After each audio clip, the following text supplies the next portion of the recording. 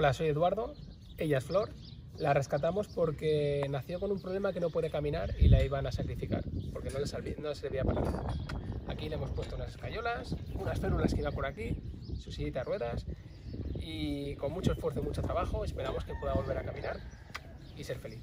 Él es Napoleón, nació sin esternón, directamente le apartaron de la madre porque no le servía para nada y ahí se iba a morir. Fue rescatado, aquí se han conocido, se han hecho súper amigos y los dos tienen una segunda oportunidad. He rescatado cientos de animales que hoy pueden ser felices aquí en el santuario y ahora tenemos un gran problema porque nos quedamos sin hogar. Por favor, dona para que podamos cambiarnos.